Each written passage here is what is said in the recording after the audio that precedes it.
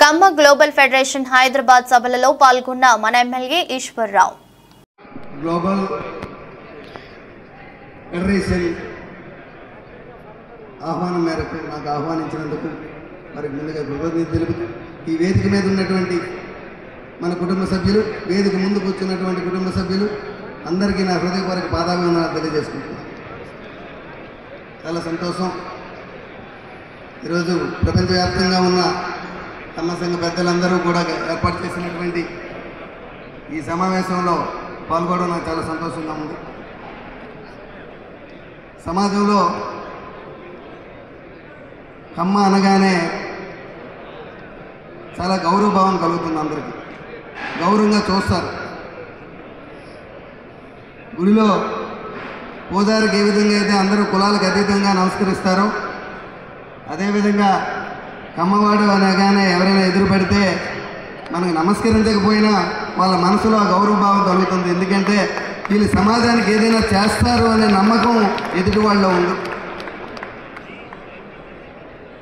పంతొమ్మిది వందల ఎనభై మూడులో ఆరో తరగతి చదువుతున్నాను. స్కూల్కి వెళ్ళాను అప్పటి వరకు నాకు కులం తెలియదు. స్కూల్లో మేసారు మొదటి క్లాసులో పరిచయం చేసుకోమన్నారు. అప్పుడు కులాలు చెప్పేవారు. కులం కూడా చెప్పాలి. కులం పేరు చెప్తే కమ్మ అనగానే అందరూ మేసారితో సహా అందరూ కూడా గొప్పగా చూశారు.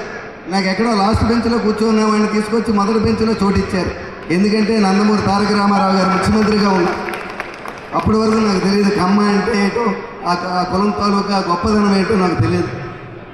అటువంటి నేను ఒక రైతు బిడ్డగా ఈరోజు శాసనసభ్యుడిగా మీ ఆహ్వానం పొందానంటే ఎక్కడో శ్రీకాకుళం మారుమూలలో ఇచ్చర్ల నియోజకవర్గం నుంచి వచ్చి ఈరోజు మీ ముందు నిలబడి మాట్లాడగలుగుతున్నానంటే ఆ కుటుంబంలో పుట్టడమే ఆ గొప్పదనం. ఎచ్చేర్ల నియోజకవర్గంలో మీకు అంటే నా గొప్పదనం కాదు మన గమ్మ గొప్పదనం చెప్తున్నాను. ఎచ్చేర్ల నియోజకవర్గంలో కేవలం మూడు వందల ఓట్లు ఉంటాయి మనకి. కేవలం మూడు వందల ఓట్లు ఉంటాయి. ఇప్పటి వరకు మనం కింగ్ మేకర్స్గానే ఉండేవాళ్ళం అక్కడ. అయితే ఈసారి భారతీయ జనతా పార్టీ నాకు అవకాశం ఇచ్చి ఎమ్మెల్యే సీట్ ఇస్తే అందరూ ముగ్గురు వేలేసుకున్నారు. చాలా తప్పు చేశారేమో పార్టీ. మూడు వందల ఓట్లు ఉన్నవాడికి అక్కడ సీట్ ఇవ్వడం ఏంటి? మెజార్టీ కులం వారు ఎనభై వేల ఓట్లు ఉన్నాయి వాళ్ళకి మెజార్టీ కులం వారు. వారే సిట్టింగ్గా ఉన్నారు. స్వతంత్రం వచ్చిన దగ్గర నుంచి వాళ్ళే ఎమ్మెల్యేలు అవుతున్నారు. అటువంటి వాళ్ళకి ఇవ్వకుండా కేవలం మూడు వందల ఓట్లు ఉన్నవాడికి సీట్ ఇవ్వడం ఏంటి? తప్పు చేసిందేమో పార్టీ అని చాలా విమర్శలు వచ్చాయి. కానీ హెచ్ఆర్ల ప్రజానికం అంతా నమ్మారు. ఏ కులం కాదు ఇక్కడ. గుణం ముఖ్యం.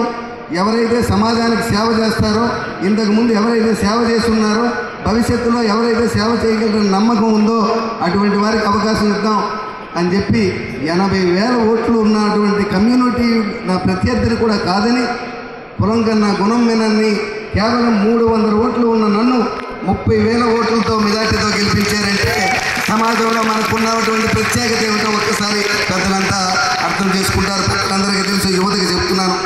మనం కులం కొన్ని సమయాల్లో ప్రతికూల సం- ప్రతికూల పరిస్థితుల్లో కొన్ని సా- సమస్యలు కూడా ఎదుర్కొంటాం అదే సందర్భం.